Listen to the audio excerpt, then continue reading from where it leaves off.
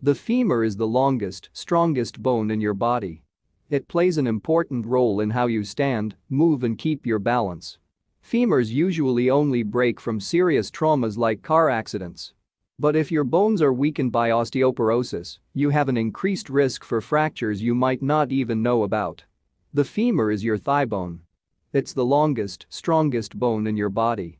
It's a critical part of your ability to stand and move.